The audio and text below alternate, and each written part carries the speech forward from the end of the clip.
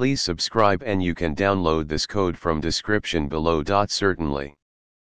Unshortening a URL in Python can be achieved by following a series of steps. In this tutorial, I'll guide you through the process using the requests library, which is commonly used for making HTTP requests in Python. If you haven't installed the requests library yet, you can do so using the following command. Now, let's write a Python script that unshortens a given URL. We'll use the requests library to follow redirects and obtain the final destination URL.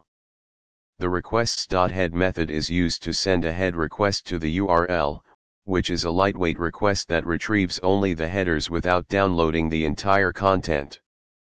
This allows us to follow redirects without downloading unnecessary data. Allow underscore redirects equals true is set to allow the requests library to automatically follow redirects until it reaches the final destination.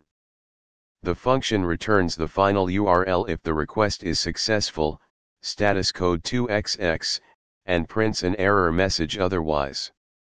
Keep in mind that some URL shortening services may use JavaScript or other techniques to perform the redirection.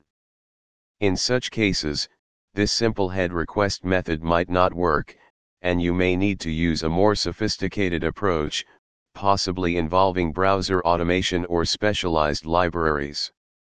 It's always a good practice to handle exceptions, as network requests can fail for various reasons, such as network issues, timeouts, or server errors. ChatGPT